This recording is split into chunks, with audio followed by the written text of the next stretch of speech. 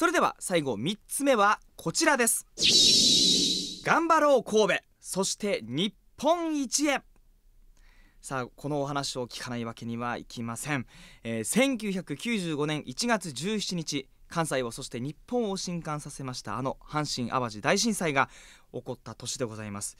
藤井さんはあの地震が起きた時というのはどうされていました、はい、この時がねその前日16日日曜日だったんですけど、はい、で高校の OB 総会野球部の OB 総会がありまして、はい、でその後やっぱ同期とちょっと盛り上がりまして、まあ同窓会だったらそうなりますよね。はい、でまあもともとあのお酒の方は僕飲まないんで、はい、ちょっと車で行ってたんですけどもね。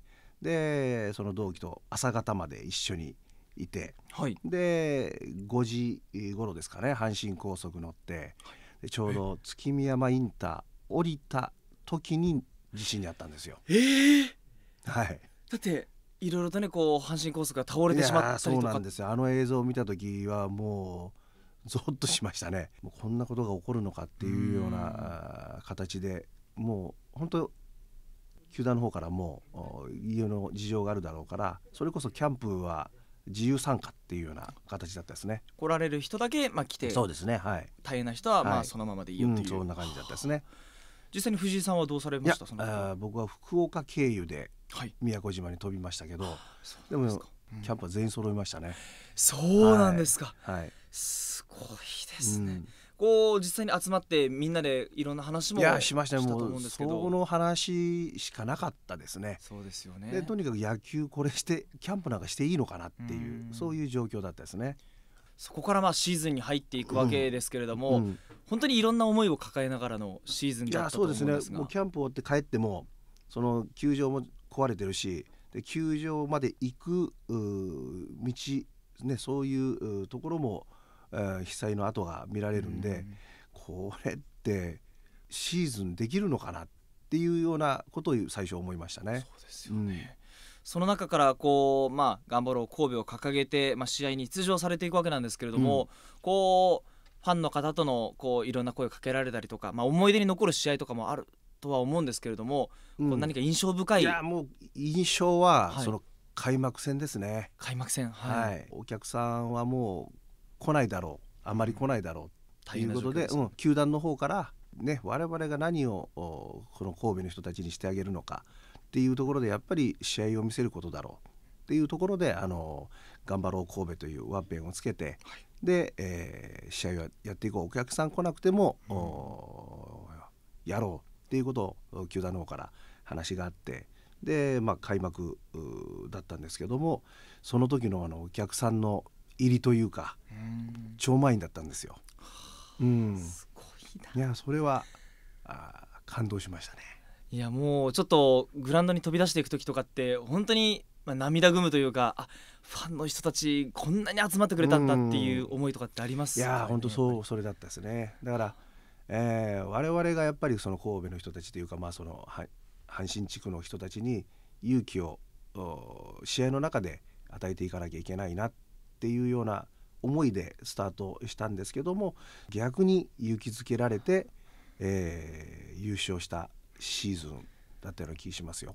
やっぱりそういったファンの方々の力が原動力になっているところも、うん、そうですね。はい。でやっぱシーズンを迎えるうちに大差で負けてるようなゲームが、それがゲームの後半になってくると徐々に追い上げていってあれ？あれ？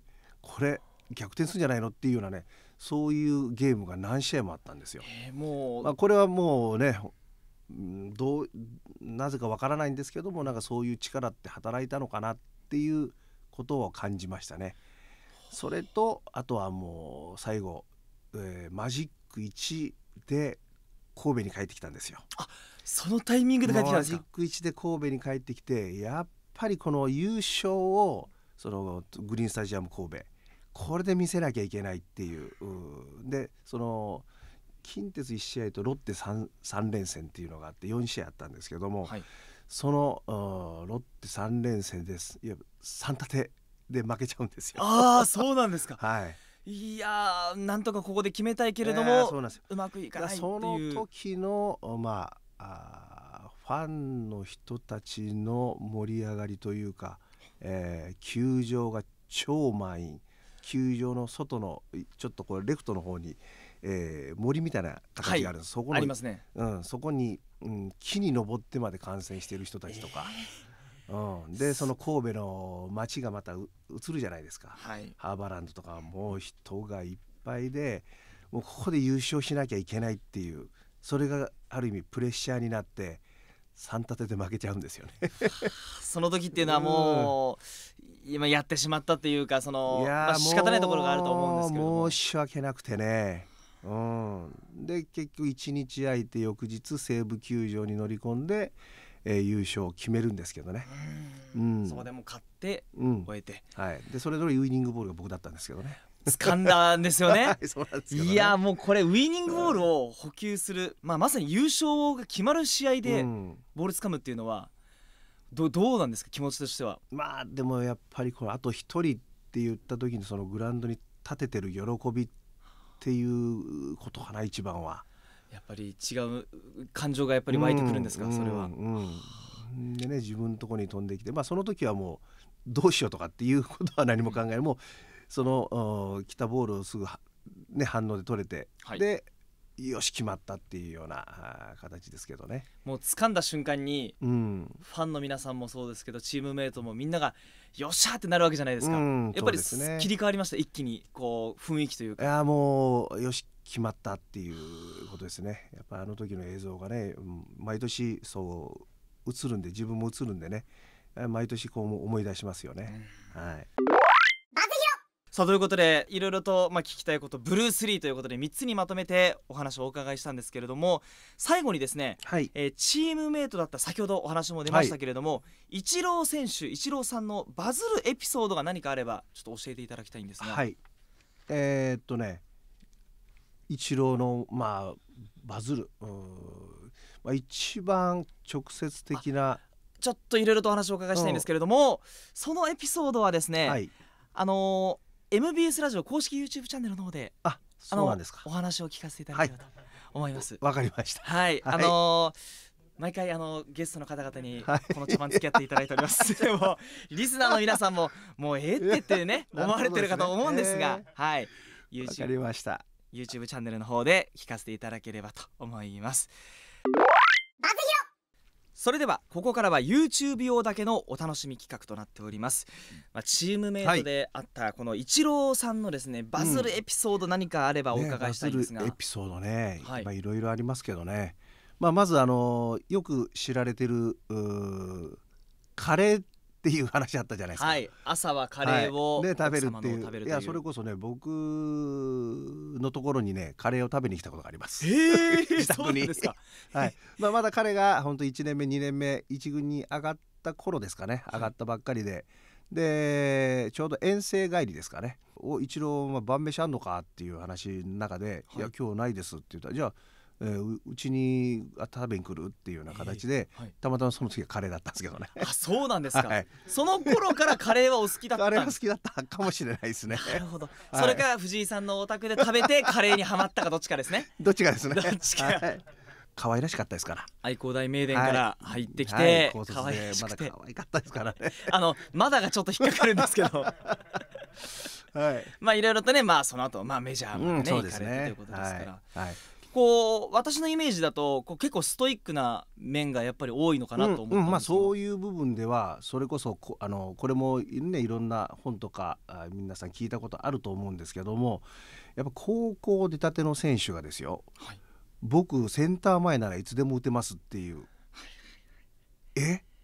うそんなこと言えるの？っていうようなこんなこと初めてですね。っていうなかなか。のそんだけやっぱり自分の中でバッティングっていうのを確立させてた18歳19歳ってそうはいないですよ。実際に藤井さんから見てもそのバッティング技術というのは卓越したものがイチローさんはあったんですかやっぱり、まああの実際一軍に来てた時っていうのはねまだあーまあ自信というのはおかしいですけども一軍のピッチャーに若干あーまだついていけないところはああったとは思うんででまあ一行ったり一軍行ったり来たりっていうのはあったと思うんですけどやっぱり二軍の試合でははい。止まらないぐらいですね。ヒットが止まらないっていうか。もう本当にその言葉通りとっていうような形でそれはだ聞いてます。はあはい、でやっぱりその当てる技術が高いっていうところでやっぱり普通のショートゴロであるとかが全部内野安打になるっていうところですね、それだけあのバットコントロール芯に当てる能力っていう高さですねあのイチローさんまあ振り子打法という形ですけれども、うん、あのバッティングフォームというのは藤井さんから見てどう、まあ、そこまで12年目まではそこまでではなかったんですけども、はい、やっぱりその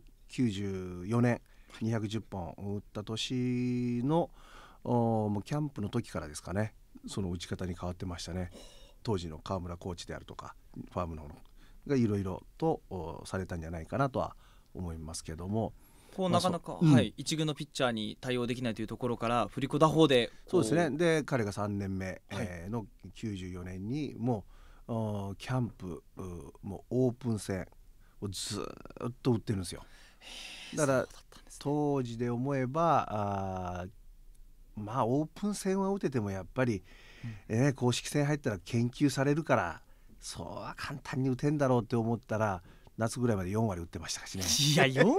って4割近く打って凄まじい数字ですよね。凄まじいってもんじゃないですよ。僕でも最高で2割9分2厘っていうのが最高打率なんですよ。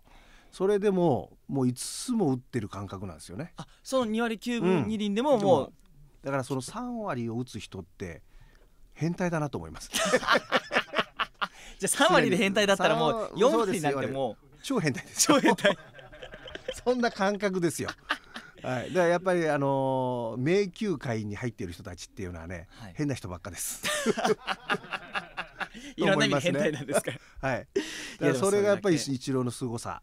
うん、まああとはあの面白い話で言えば面白くっていうのはおかしいですけども、はい、やっぱり一郎って言ったらもうやっぱサインがすごいんですよ。サイン？いやサインを書いてくれって僕らもお願いされるんですよやっぱり。はいはいはい。一郎サインもらってきてとかね。え藤井さんのもとにもお願いが来るんですか、来るんですよ一郎のサインをもらってもらえるとかね。でちょうど彼のロッカーと僕のロッカー隣同士なんですけど、はい、その当時。で一郎のロッカーにその色紙の山がとんでもないぐらい高く積まれてるんですよね。みんなからお願いされたものがどんどん届いて、うん。う。ん、そう、うん、それはある意味こうかわいそうな部分はありましたけどね。先輩から言われたら書かないわけにいかないですよねいやだから本当にね申し訳ないなと思いながら サインをもらってましたけどね。そんな苦労も一郎様あったということで、はい、えー、こちらバズるエピソード、はい、いろいろとお聞かせいただいてありがとうございました、はい